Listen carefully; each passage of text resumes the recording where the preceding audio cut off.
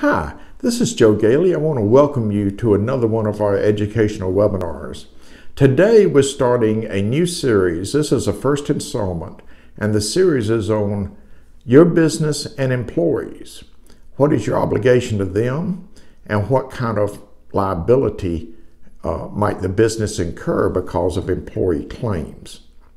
Now, in my 40 plus years of practicing law and accounting, I can't tell you how many times our clients and sometimes even other lawyers have told me that Georgia is an employment at will state, or what some people refer to as a right to fire state, and that an employer can fire any person at any time for any reason or for no reason without liability.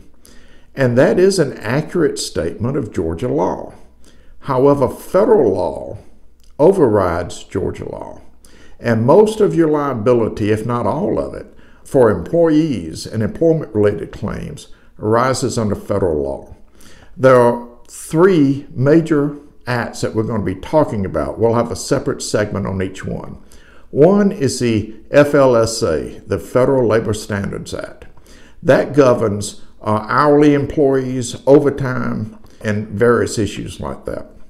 We will have at least two sessions on that.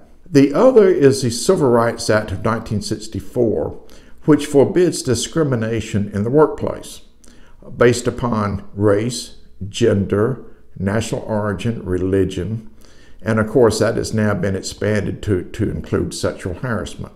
We will have a separate installment on that. Finally, we have the Americans with Disabilities Act. That makes it mandatory that employers make reasonable accommodations for disabled employees. And we're going to talk about in, in a separate installment what that means and uh, how important it is to, to understand and have a good job description. But all of these acts, and there are many others that we're not even going to touch on, but all of these federal acts have certain things in common. Uh, one thing is that they provide that the owners of the business can be named as joint employers so that they can become individually liable for any damages due to the employee for violations. Now, I know you're saying, well, I thought that's why I incorporated was to shield myself from liability for what my employees do. Well, that is why you incorporated, uh, but it doesn't work, at least not in this context. So not only can the individuals become liable, but also any brother sister businesses, other businesses that might be owned by the same people, can become joint employers as well. Secondly, all of these provisions have an additional prohibition against retaliation.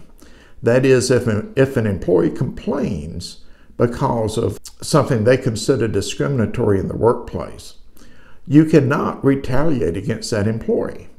Now, I have a whole separate presentation about retaliation and what it is, but it doesn't necessarily have to rise to the level of termination. It can be something less to qualify as retaliation.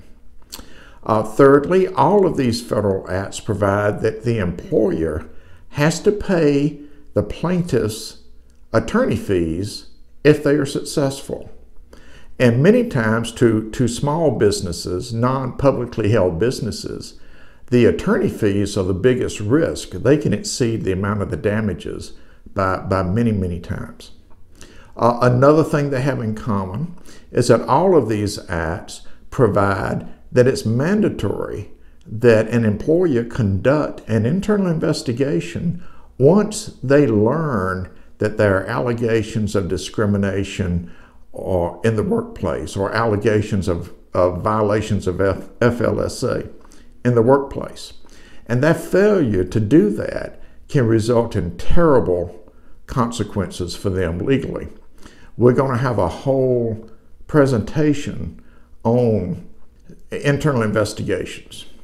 So as we progress, I hope that you'll listen, take good notes, and of course you can always listen two or three times if you feel the need to do so. But I hope that this overview will kind of get you prepped to go into some of the deeper sections that are going to be coming up in later presentations. I appreciate you tuning in, and we're looking forward to your tuning in to future presentations.